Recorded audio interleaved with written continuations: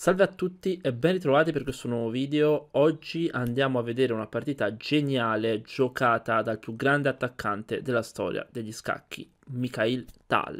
In questa partita Tal gioca delle mosse veramente incredibili, inizia a sacrificare tutti i pezzi per poi andare a dare scacco matto. Prima di iniziare ricordo a tutti di mettere mi piace e di iscrivervi al canale, grazie a tutti coloro che si stanno iscrivendo. Ormai siamo vicini ai 60.000 iscritti, dovrebbero mancare 1100 iscritti circa, ce la possiamo fare secondo me. Eh, grazie a tutti coloro che si stanno iscrivendo e che supportano questo canale e iniziamo.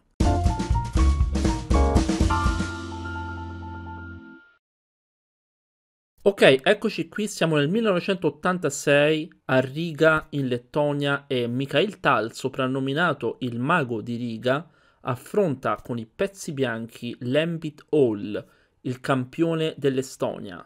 Tal inizia con pedone 4, Hall risponde con C6, difesa Karo-Kan. Sappiamo che la difesa Karo-Kan è un sistema molto solido, quindi è molto interessante vedere Tal in azione contro la Karo-Kan, essendo Tal un giocatore tattico. Tal prosegue con D4, occupa il centro, Hall gioca D5, arriva cavallo C3, pedone per E4, cavallo per pedone. E qui rientriamo nella variante principale della Karo-Kan. Hall però non continua con la mossa più giocata, ovvero cavallo F6, ma gioca cavallo D7. Questa è la variante Karpov della Karo-Kan. Karpov, campione del mondo di scacchi, ha dato il nome a questa apertura. L'idea è di uh, catturare poi in F6, dopo cavallo F6, se il bianco dovesse catturare, l'idea è di riprendere di cavallo.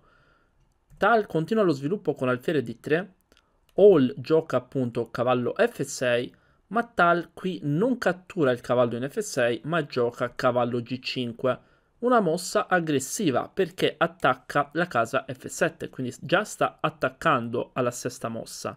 Hall qui prosegue con una mossa logica, ma inferiore, non la migliore.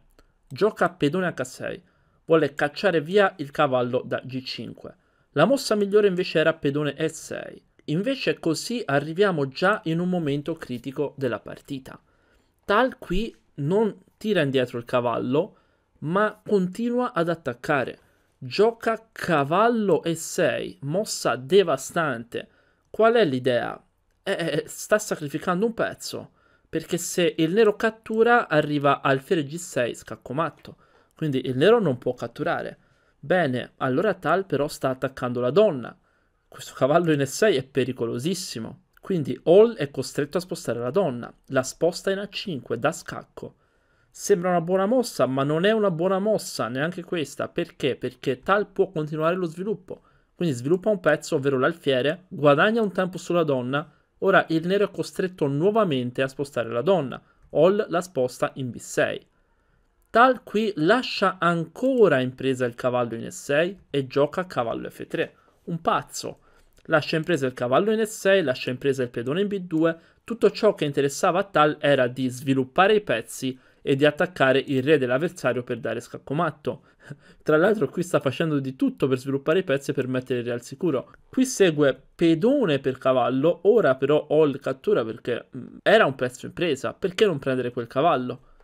Eh, eh, Tal però è ciò che voleva. Lui sacrificava molto volentieri questi pezzi. Alfiere G6 scacco arriva. Il re sotto scacco si deve muovere. Unica casa re D8. Benissimo. Tal qui perderà tempo a difendere il pedone in B2 secondo voi? Assolutamente no. Decide di mettere il re al sicuro con Arrocco. Questo era il suo modo di giocare. Era un modo di giocare singolare, cioè solo lui giocava a scacchi in questo modo e ad alti livelli, perché Tal giocando a scacchi in questo modo è arrivato a diventare campione del mondo, ragazzi, attenzione. Cioè non è uno qualsiasi che si mette a giocare così, fa qualche vittoria in qua e in là. No, no, lui campione del mondo, il suo stile di gioco era proprio questo. Hall qui non cattura il pedone in B2, ma gioca pedone C5. Tal continua con pedone C4, figuriamoci se Tal cattura. No, Tal fa i suoi interessi, gioca pedone C4, occupa il centro, controlla la casa di 5. Hall continua con pedone per pedone e ora Tal chiaramente cattura questo pedone, mette un pezzo in presa. Ma è realmente impresa? No, perché dopo donna per segue alfiere a 5 scacco e il nero perde la donna. Quindi questo cavallo in realtà non è sotto attacco.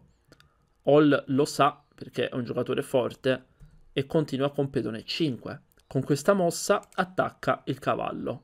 E Tal qui di nuovo gioca una mossa assurda. Se giocavi contro Tal non ti faceva capire niente fin dall'inizio. Qui il nero non riesce mai a entrare in partita. Guardate Tal cosa gioca. Tal gioca pedone C5. Lascia il cavallo in D4 in presa tranquillamente. mette un pedone in presa in C5. Il pedone può essere catturato, no? Però è una mossa molto forte e il nero lo cattura, quindi mette a rischio il re. Vediamo invece se non catturava. Ad esempio, se la donna viene via, no? Cosa succede? Eh, arriva alfiere a 5 scacco. Dopo donna per alfiere, cavallo e 6 scacco matto. Oh mio dio, davvero micidiale. Tal era un extraterrestre. Guardate cosa andava a calcolare. Quindi questo pedone, eh, allora cosa facciamo? All lo cattura. Ora il re è in pericolo effettivamente. Tal come prosegue, eh, gioca lo stesso alfiere a 5. Figuriamoci se Tal non aveva visto alfiere a 5. Ma che mossa è? È una bella mossa, attacca la donna, minaccia scoperte e il tema è lo stesso di prima. Sulla cattura arriva scaccomatto in 1 con cavallo e 6 scaccomatto perché è doppio scacco e re non può andare da nessuna parte. Quindi allora All continua con pedone per cavallo, lascia la donna in presa, la donna è anche inchiodata, tal cattura di donna in D4 da scacco, arriva cavallo D7, alfiere per B6, pedone per B6. Che cos'è appena successo? E beh, tal ha guadagnato la donna, però è pur vero che il nero ha tre pezzi leggeri per la donna, quindi non è un problema a livello materiale ma i problemi del nero qui derivano dalla posizione del re e anche dallo sviluppo dei pezzi, perché i due alfieri stanno dormendo, le due torri stanno dormendo, il re si trova al centro, oh mio dio, non vorrei essere il nero qui, poi giocare contro Mikhail Tal questa posizione, roba da pazzi. Tal gioca a torre C1, torre su colonna aperta, vuole attaccare. All prosegue con E5, attacca la donna. Tal sposta la donna in C4, vedete vuole entrare in C7 appunto, o glielo impedisce, gioca alfiere C5 e sviluppa un pezzo. Tal continua con torre D1, Tal voleva mettere tutti i pezzi in gioco, lui non lasciava mai pezzi indietro, per lui tutti i pezzi dovevano giocare, dovevano essere attivi, voleva ottenere il meglio da ogni singolo pezzo.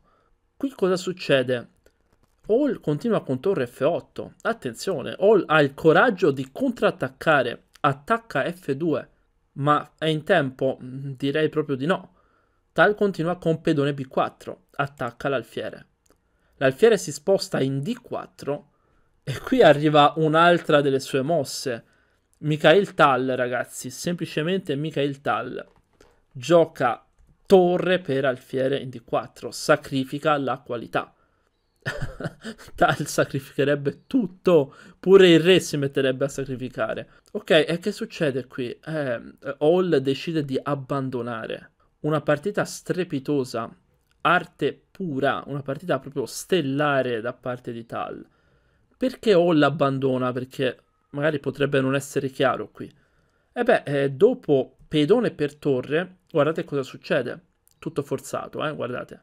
Donna C7 scacco, il re ha solo una casa, quindi il re 7, torre 1 scacco, il re non ha case, quindi deve per forza, eh, il nero deve per forza spostare il cavallo, arriva torre per cavallo scacco, il re ha solo una casa, donna in D6 scacco, il re ha solo una casa, ovvero qui in G5, e ora arriva pedone H4 scacco matto. Bellissimo direi le partite di Tal sono sempre molto interessanti e belle da vedere. Questa proprio è stata una partita a senso unico, come il suo stile di gioco. Anche il suo stile di gioco era proprio unico, veramente unico, perché lui giocava in questo modo contro i grandi maestri, ripeto. non contro i giocatori da bar. Grazie a tutti per la visione di questo video, vi ricordo di mettere mi piace e di iscrivervi al canale. Ciao e alla prossima!